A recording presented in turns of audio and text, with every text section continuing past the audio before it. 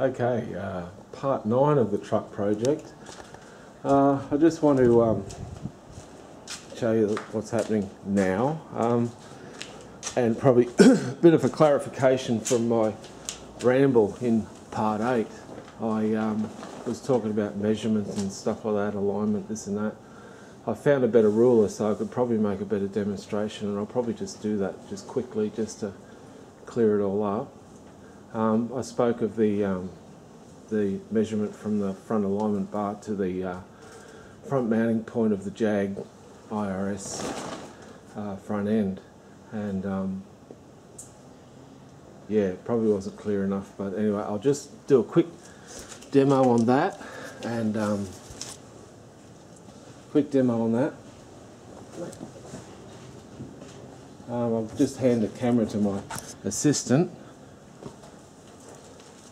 and uh, I'll just do it. I'll show you quickly.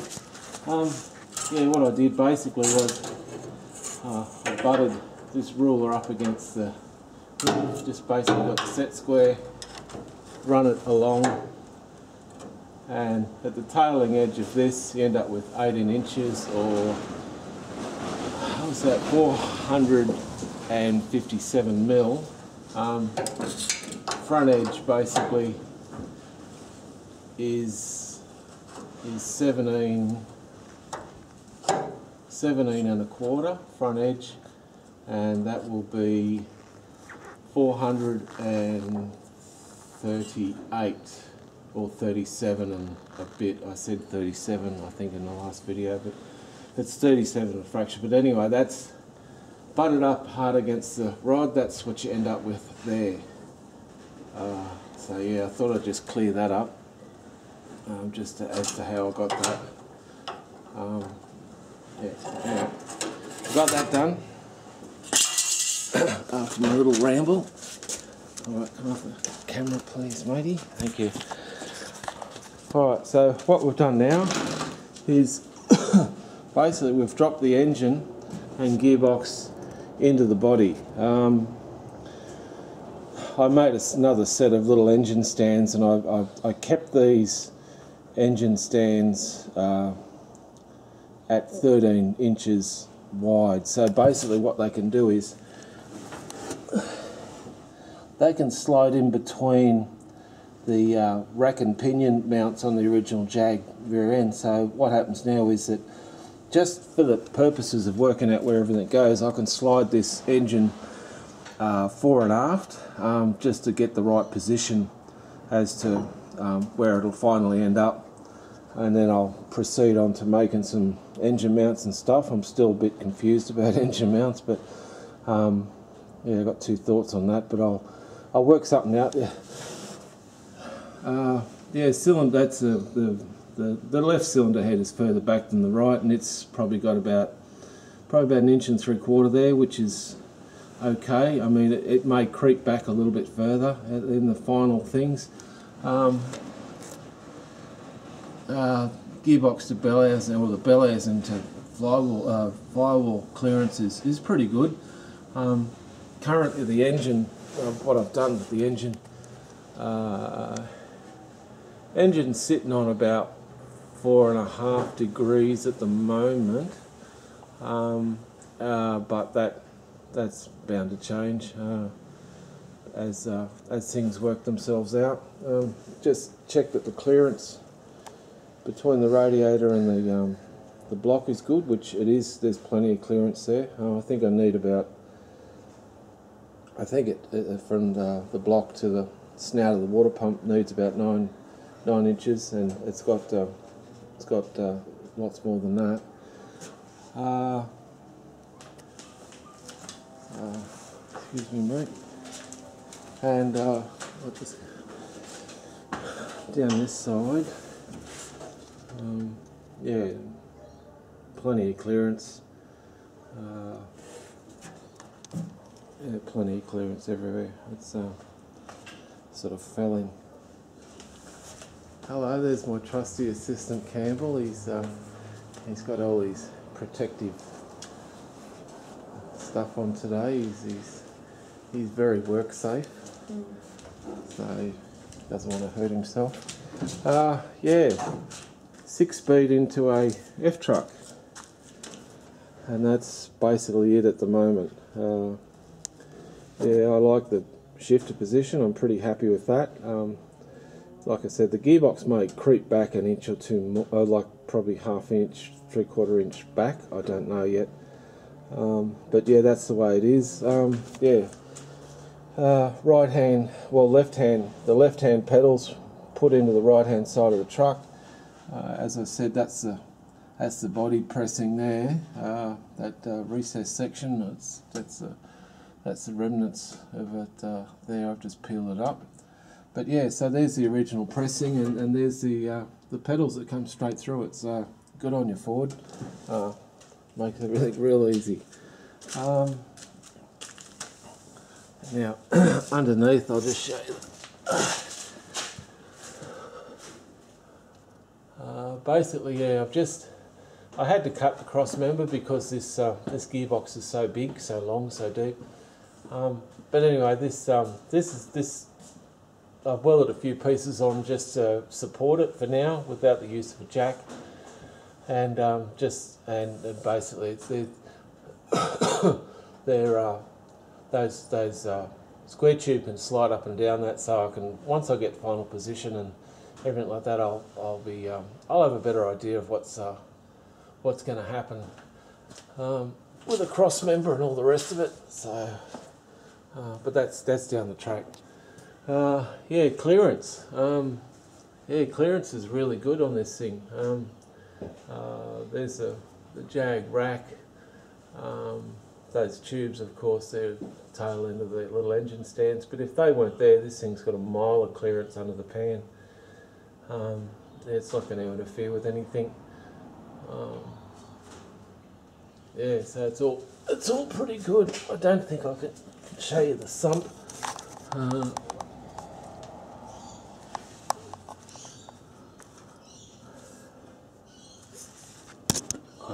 if that's going to work, but anyway. So yeah, lots of clearance underneath. All good. Um, yeah, I spoke of um, centering the wheel in the arch, and um, that's uh, that's where that ends up um, with those measurements I spoke of yesterday, uh, the 21 and a half inches. Um, that's that's where the uh, the wheel center ends up in the um, in the arch, which is pretty good. And um, the 21 and a half inches, I'll, I'll probably just do a, a, quick explain on that. Basically, um, like I said, it's a this uh, this cross member down this cross member down here. Um, yeah, it's got a it's got a 90 degree degree bend at the top here. That's the that's the reference point for the 21 and a half inches towards to the back um, to the rearmost part of this um, original Jag engine mount. Uh, that's um, like I said, it's uh, it's pretty damn close, but um, the only thing is you want consistency on both sides, and that's um, that's the reason I went with the uh,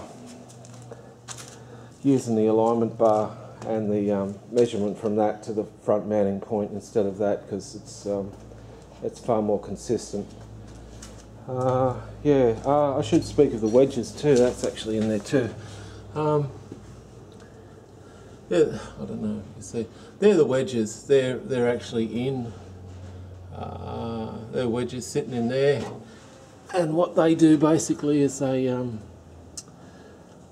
they stop the uh, they they have the uh, Jag chassis mount sitting uh, parallel and flush. There's no compression on one end of the uh, mount or the other. So you know, just I did that so I don't want problems down the line. Oh, blowing out chassis mounts or anything like that.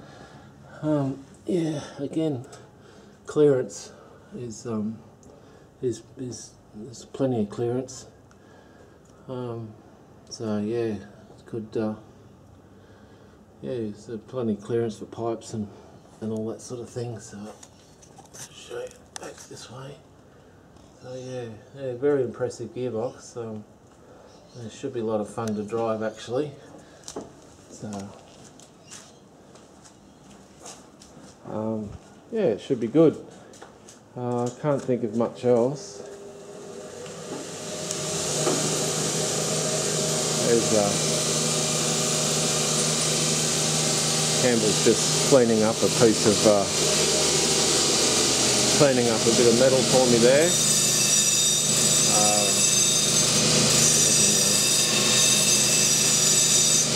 looking very much like a uh, engineer or mechanic. Uh, yeah, but anyway, enjoys what he does.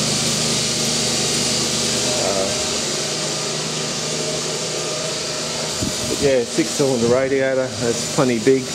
I'd like to use it at some point, but we'll see what happens. But yeah, so that's uh, yeah, uh, 302, well 302 block in the truck. Um, cylinder heads, gearbox, uh, bell housing, and uh, yeah, next uh, and the the sump. That's a factory sump, and it's um, it's got about an inch of clearance underneath it, um, which is pretty good. I don't um, I don't know if a, a rear sump is um, absolutely necessary for this um, this fitment. So. But yeah, so I, um,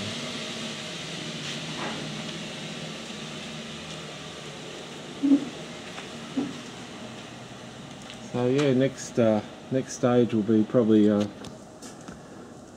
uh, I don't know what to do next. I'll uh, just keep fussing around with. I'll probably engine mounts next, I suppose.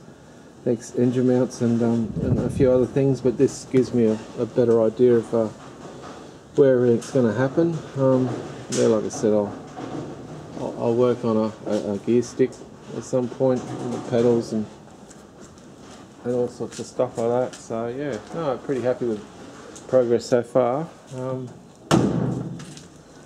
yeah. Uh, anyway, I'll, I'll leave it with that, I suppose, for part nine. Um, yeah, I, I, uh, don't have a lot to say. We've got a got a set of throttle bodies here. They um they're quite interesting. They um yeah, I've got about eight of them. They could make a very in interesting injection manifold down the line. Um, but we'll uh, we'll cross that bridge when we come to it. Um, yeah, there's. Uh, yeah, that's probably it for part nine. I can't think of much else to say. But yeah, I hope that clears up the, the measurement uh, ramble I did in part eight. And um, yeah, next thing I, I, probably need to work on a front sway bar at, at the next stage. But uh, uh, I've got a few uh, I've got a few ideas about a sway bar, and I, am toying with the idea of mounting at the rear and uh, um, doing stuff like that. But uh, anyway, it's all those things are in the post, and uh, we'll, uh, we'll we'll get them mounted when they turn up, and we'll we'll see what that looks like. But yeah, so anyway, I'll leave it at that um, for part nine and uh, part ten.